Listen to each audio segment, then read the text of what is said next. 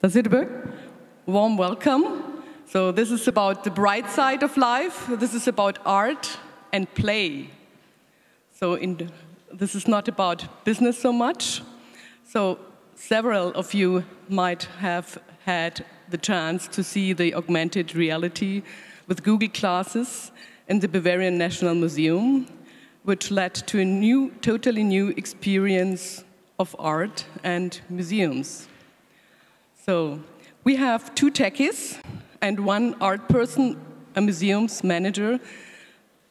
Mr. Welcome to Mr. Max Hollein, who is the head of three museums in Frankfurt, one of the most successful museums director in Germany. She, she is um, doing three museums, one contemporary or maybe exhibition hall, an antique sculptural museum, and a very well-known museum with 700 years of art, everything. So, and he is also a brilliant fundraiser. He's a brilliant curator. He's an art person and a manager. So he's he has studied art history and economics.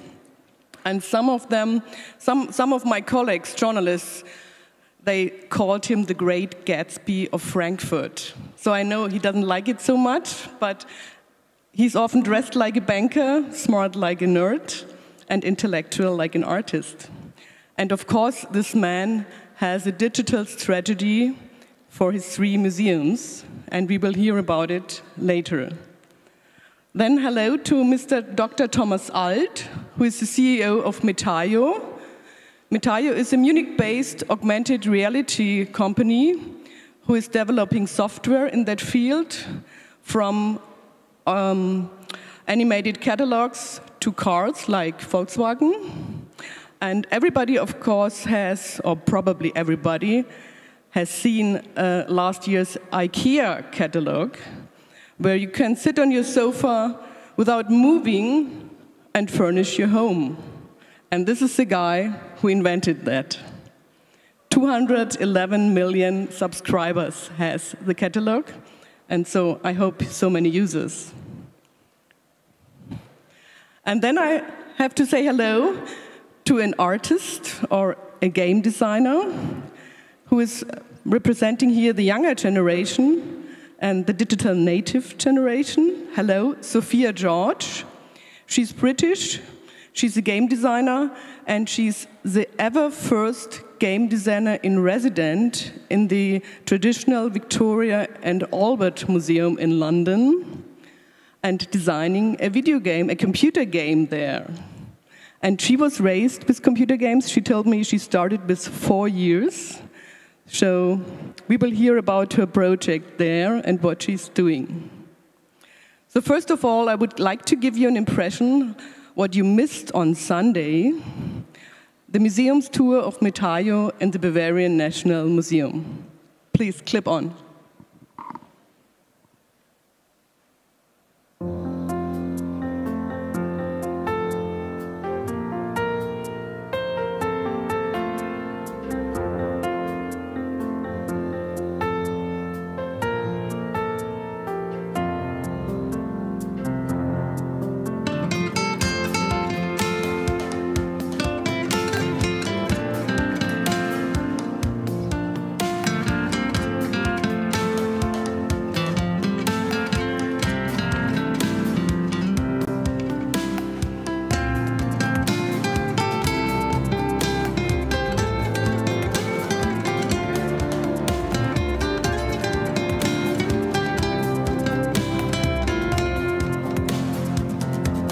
Of Judith by Conrad.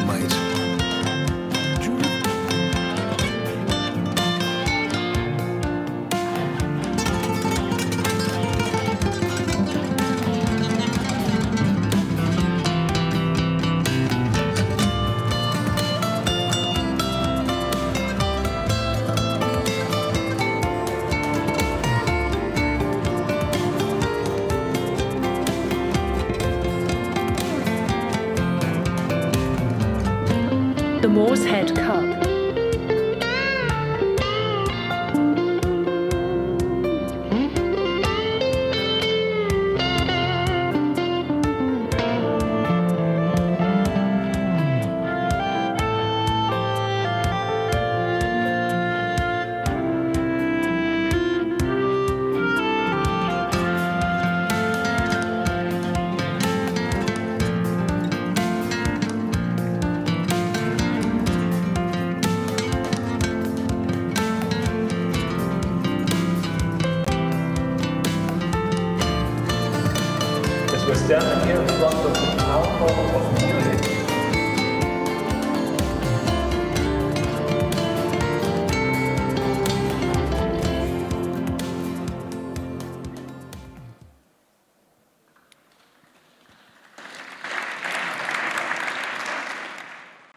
Quite an experience.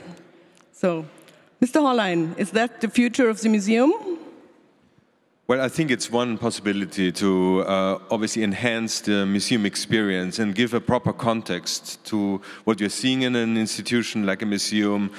And uh, obviously, uh, with the objects that we have on display, a lot of the stories that are behind these ob objects cannot be told through the object itself. And I think that particular tool that you have developed uh, has the capacity not only of doing that, but is extremely uh, successful in laying out these stories in a multifaceted way. So I think it's an, it can be an important tool in one aspect. Um, on the other hand, I think that uh, a, a, museum itself as an institution um, should not uh, fill itself up too much with, with a whole number of digital tools. I think that uh, you have two sides of the coin in that context. If you look at our visitorship uh, in museums, you can see that the average stay of the visitor has not changed within the last uh, century. So in 1960, visitors came and stayed for an average uh, time of one hour and 10 minutes, and that's the same uh, right now. So different to what's happening in TV or in, uh,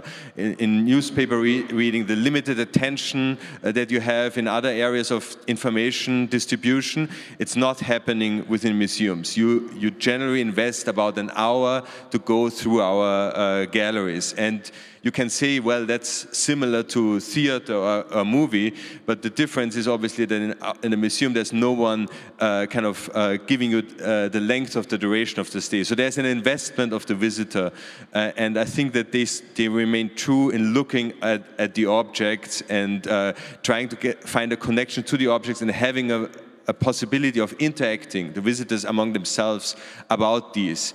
Um, so I think we want to enhance that. And on the other hand, I think all, a lot of the digital tools, and one of it uh, would be the, uh, what we have seen right now, but a lot of the other things will be used as an enormous educational platform besides what we are doing within the physical uh, museum. So I see the future of the museum twofold. One, the institution as we know it, with a lot of uh, enhancement, especially in the dialogue between the visitors, and have a, have a genuine experience in the space.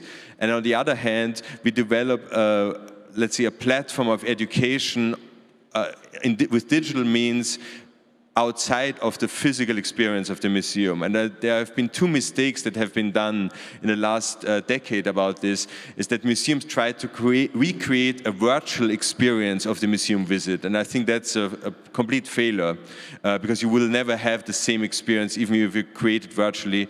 And then the other mistake is that a lot of the digital initiatives of museums right now are actually to lure the visitor in, into the institution, so kind of create a physical visit. And I think that also should not be our goal.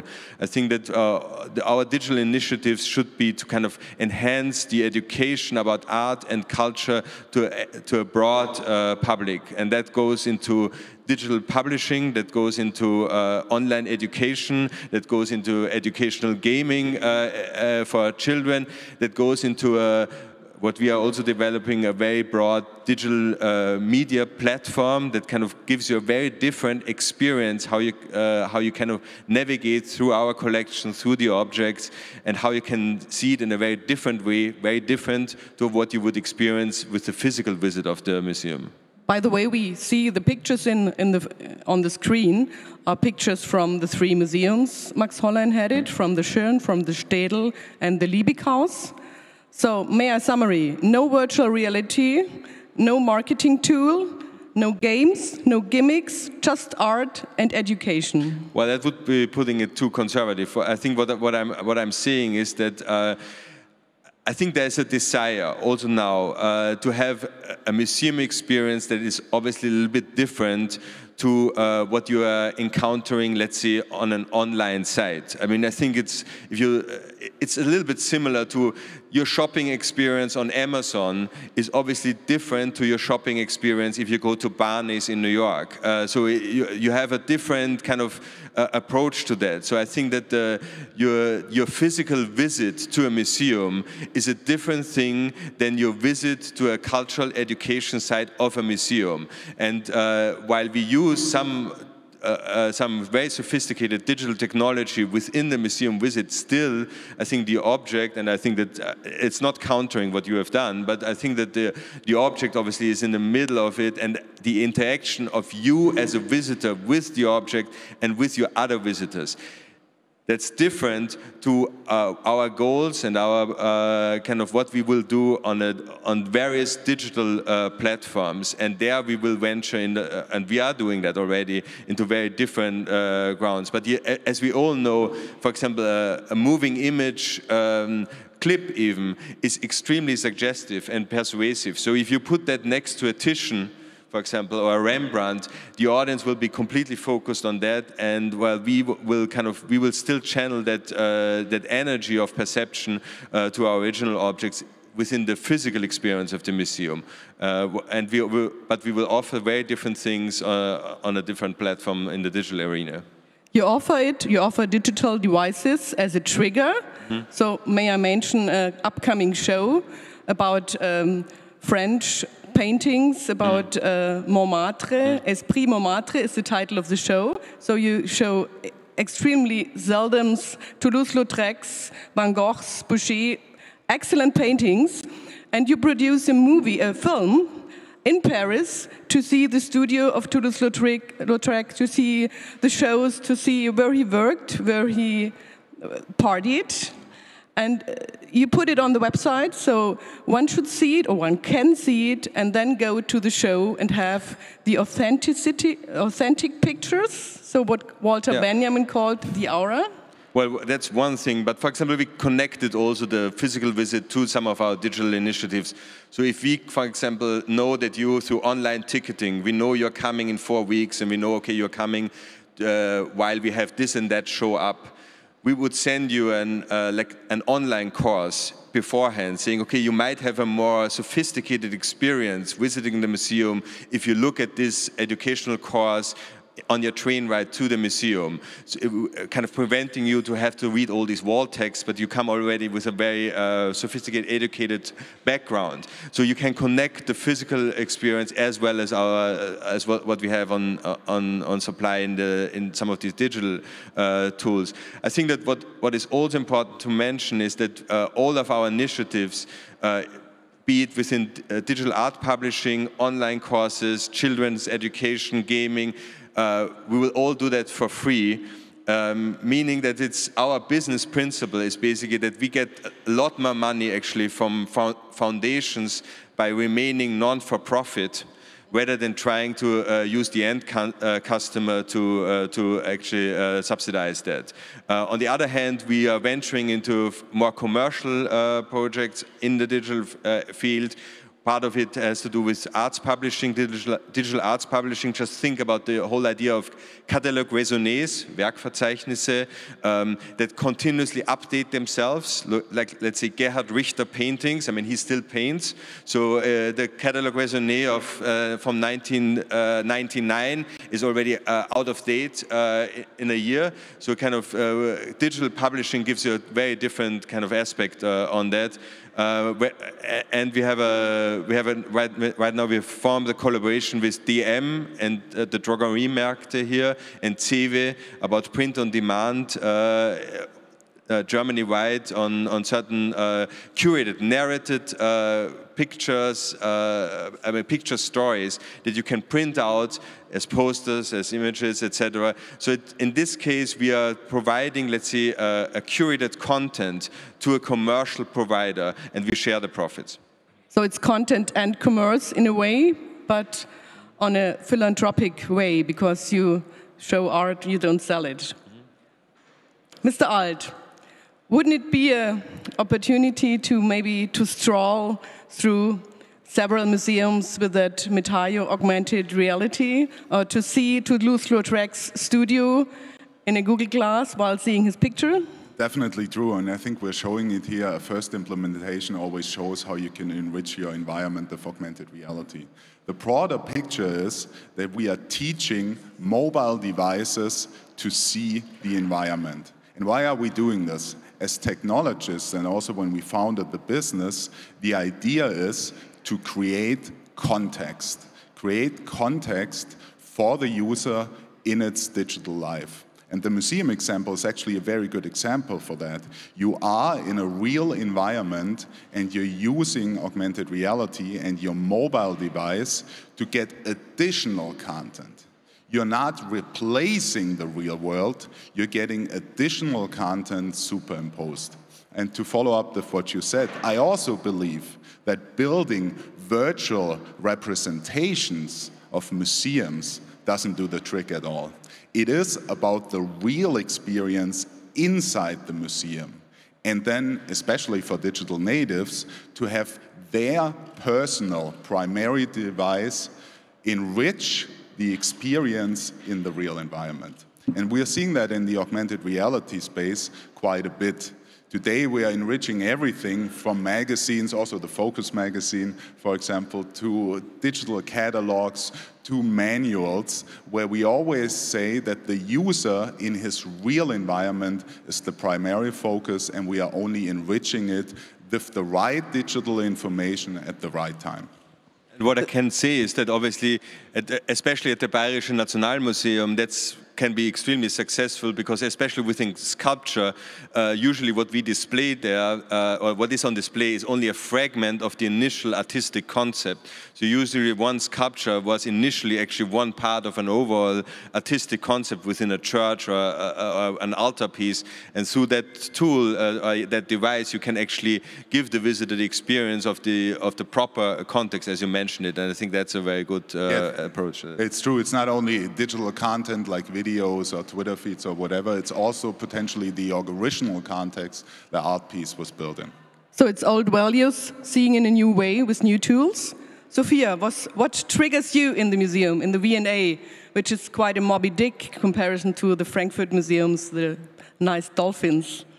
Yes, so my kind of brief for the museum is to look at the British galleries there, which is British art and design from 1500 to 1900 and I've paid particular attention to the works of William Morris. William Morris, the founder of the arts and crafts movement. Yes. The wallpaper of him become tremendous in fashion right now, again with its patterns. Yes, I didn't realize that, but there's in the V&A shop at the moment, there's so much uh, arts and craft movement patterns on scarves and tea cozies and everything. So it's quite nice that I've picked something that is quite in fashion at the moment. I, you offer also for the public events. So you're not only an artist, you offer for the public. And I saw on your blog you have a very good website. So I'm sorry we cannot show it here, but please click it on. You offer drawing courses. You offered once a drawing courses, very traditional kind of producing art. Yes, well, um, I went to art school, and something that we always did was life drawing. And so we held a a day-long workshop where we, the participants did life drawing, but with the kind of character design for games in mind. So they would draw a hero and then a villain and then their own characters. And I was playing game music at the time to get them in the mood for developing these different characters while practicing an artistic skill as well. Do you, do you how, how does it come to see the first, the first day you visited the V&A Museum? Did you first go to the website or by person? Oh, by person. I don't think that, although the V&A has a fantastic website where you can search the collections and see all of the different objects, being there in person is obviously so much better and you can get up and close to different things and it, it's very inspiring. So it's a lot of, in the museum field, gamification is a new big word. So to really bring the masses in the museum or bring the younger generation into the museum. And there on the other side, there's a very conservative section, a traditional section, to say, no, please, we would like to have one place where we can enjoy art calm, no devices, nothing. So how do you enjoy art? Well, even though I work in digital, I do see the like the allure of going to a place and just looking at things without all these different screens and games there. But I think for children especially, games can be very engaging and they can inspire them to think more about what's in the museum. But I think it's important to say with, with the V&A, it's not just about gamification um, and using games for learning, but they're actually looking at games as a form of design, looking at games culture. So in the future there will be uh, there'll be lots of exhibitions and workshops which are just about games culture and how games are made as well. Mr. Hollein, would you have a job for her? Well, we certainly have jobs for, for that. I think that especially uh, online um, gaming is uh, for us a very big topic. Um, I think if you look at it, uh, children right now, uh, to educate them in spatial thinking, color theory, a lot of these uh, things, let's say two decades ago might have happened in the school or in the family, and now there's, there's no one there yet, uh, anymore that does that job. So I think we are looking uh, for to educate actually a new audience in the kind of the main areas of kind of, kind of just aesthetic thinking, uh, initial ideas about uh, physical understanding of of of, uh, of the space of color theory, and in that context uh, games uh, can be very persuasive and, and, successful. And it's not so much that we use it within the museum, but it's part of a, an experience that the next generation should have to understand the art of the past, uh, of today, and of the future. So, since we are running out of time, thank you very much. If there are any questions, we are all here about, and please go to the museums in person. I can really recommend it. Thank you.